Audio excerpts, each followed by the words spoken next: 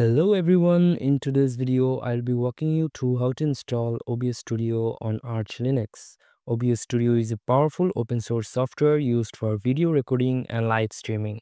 Whether you are a content creator, streamer or just looking to record tutorials, OBS is a fantastic tool to have. Let's dive right in. Before we begin the installation, it's always a good idea to make sure your system is up to date to do this, open your terminal and run the following command sudo pacman-syu and this will update your system and ensure everything is in check before we move forward. Once that's done, you are ready to install OBS Studio. Now let's install OBS Studio. Luckily, OBS is available in the official Arch Linux repositories, so it's easy to install with the Pacman package manager. Just type in this command to get started. After entering the command, press enter and when prompted, type Y to confirm the installation. This will download and install OBS Studio on your system.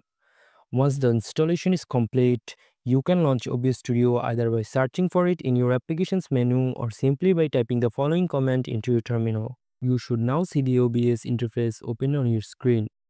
On first launch, OBS Studio will prompt you with the auto configuration wizard. This will help set up the optimal settings for your system, whether you're using for streaming or recording.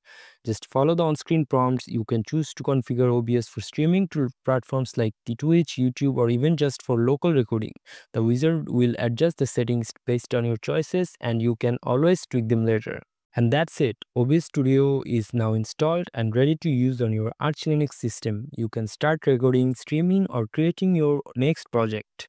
I hope this video helped you set up OBS. If you have any questions or run into any issues, feel free to drop a comment below. If you have found this tutorial helpful, give it a thumbs up and be sure to subscribe for more Linux tutorials. Thanks for watching and I'll see you in the next video.